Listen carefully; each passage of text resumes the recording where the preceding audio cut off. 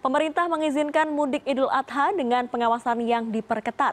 Masyarakat pun memanfaatkan kondisi ini untuk mudik merayakan Lebaran di kampung halaman. Dan sudah bersama kami melalui sambungan Zoom, juru bicara Kementerian Perhubungan Adita Irawati. Halo, selamat sore Bu Ira.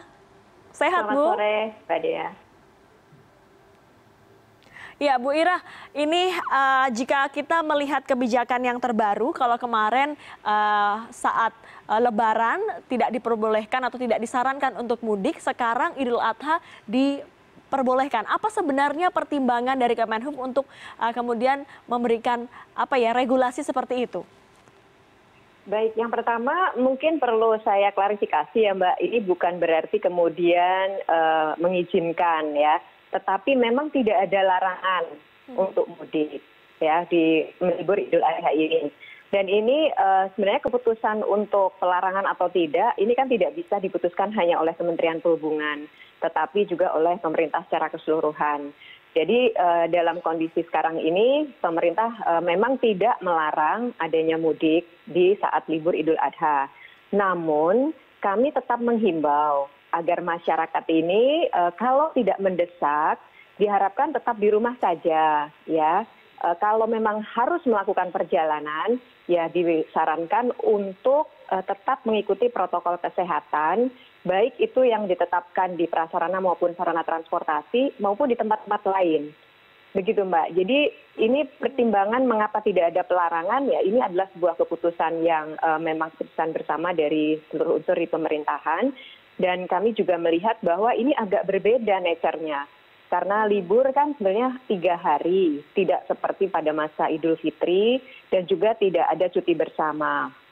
Jadi eh, kami harapkan juga masyarakat pun eh, akan lebih mempertimbangkan untuk melakukan perjalanan antar kota apalagi ya. Sehingga kami juga himbau apabila tidak ada yang mendesak sebaiknya tetap di rumah saja. Mhm. Kita berbicara khusus soal PT KAI ini PT KAI terutama di Daop 8 uh, memberikan apa ya memberikan diskon hingga 25% untuk tiket kereta api jarak jauh. Apakah ini langkah yang dilakukan oleh uh, perusahaan BUMN begitu untuk bisa meningkatkan menggenjot penerimaan, Bu? Ya, ini salah satu upaya untuk apa ya uh, mengantisipasi kondisi uh, pandemik ini di mana memang dari sisi kinerja dari perusahaan bisa jadi memang uh, cukup mengganggu ya. Mm-hmm. Dan ini kan yang namanya badan usaha penyedia transportasi harus tetap bisa sustain, harus bisa tetap melayani dengan baik dan tentunya ini dibutuhkan kinerja yang juga kemudian bisa dikendalikan. Jadi ini salah satu upaya yang dari kami juga kami apresiasi yang penting adalah eh, siapa pun operatornya termasuk di sini juga kai tetap bisa mengikuti ketentuan ketentuan protokol eh, pengendalian transportasi baik di prasarana maupun sarana begitu mbak. Mhm. Bu Ira ini kan uh, Kemenhub ini sebagai uh, regulator seberapa seberapa ketat mengawasi uh, para operator ini untuk bisa menjalankan protokol kesehatan selama para penumpang ini kembali ke kampung halaman ya kami terus melakukan serangkaian koordinasi dengan hmm. semua operator ya eh, baik itu operator yang untuk di prasarana seperti bandara, stasiun, eh, kemudian di terminal maupun di pelabuhan, tapi juga kepada operator eh, moda transportasinya sendiri. Kami selalu lakukan koordinasi dan terus mengingatkan bahwa saat ini tetap berlaku peraturan Menteri Perhubungan nomor 41 tentang pengendalian transportasi dalam rangka mencegah penularan COVID-19 yang sebenarnya juga sudah cukup lama berlaku dan sampai saat ini masih menjadi rujukan. Di situ ada surat edaran yang sangat spesifik untuk tiap moda transportasi. Mm -hmm. Semua SOP-nya sudah tertuang dan kami meminta kepada seluruh operator untuk tetap bisa mengikuti ketentuan itu. Di samping juga melakukan pengawasan kepada penumpangnya ya dan di bagaimana kemudian setiap penumpang itu diminta untuk selalu disiplin selalu mengikuti protokol kesehatan dan tentunya juga harus ada pendekatan-pendekatan kepada penumpang ini agar kemudian mereka bisa uh, mengikuti ketentuan yang berlaku. Uh, selain itu Mbak, kami juga di dalam peraturan menteri ini ada beberapa hal yang terkait dengan sanksi. Sehingga kalau hmm. kemudian terjadi hal-hal yang tidak sesuai dengan ketentuan, di situ sudah ada sanksi yang akan bisa diterapkan. Namun demikian kami berharap ini tidak perlu terjadi karena semua operator uh, dengan otomatis harusnya sudah akan uh, mengikuti ketentuan ini karena kita sama-sama punya kewajiban ya untuk melindungi penumpang dan juga memutus mata rantai penularan COVID-19.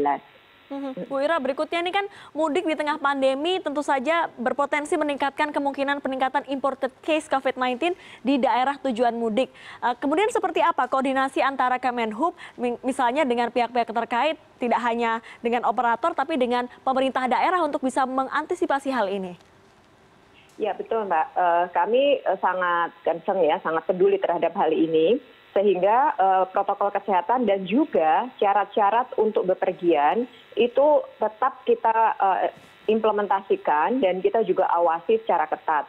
Jadi perlu diketahui bahwa syarat untuk bepergian antar kota ini sampai saat ini kami masih merujuk kepada surat edaran dari gugus tugas nomor 9 di mana di situ disebutkan bahwa setiap penumpang harus bisa memenuhi syarat-syarat kesehatan dengan menunjukkan dokumen bebas eh, covid sembilan belas hasil dari pcr test yang menunjukkan negatif atau hasil rapid test yang eh, menunjukkan non reaktif yang keduanya itu berlaku selama 14 hari. Jadi ini sudah suatu hal yang mandatori dan nantinya di titik-titik keberangkatan ini akan diperiksa lagi. Dan apabila kemudian ternyata uh, tidak bisa memenuhi persyaratan tersebut, ya tentunya para operator akan dengan tegas untuk meminta uh, calon penumpang ini kembali.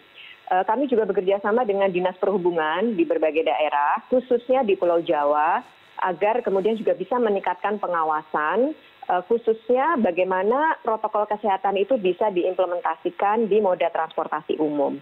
Jadi ini yang kami lakukan Mbak selain kemudian di jalan ya untuk transportasi darat kami juga melakukan koordinasi dengan pihak kakor lantas mhm. walaupun memang tidak akan ada penyekatan mhm. namun demikian eh, kami juga berharap kelancaran lalu lintas ini tetap bisa dijaga.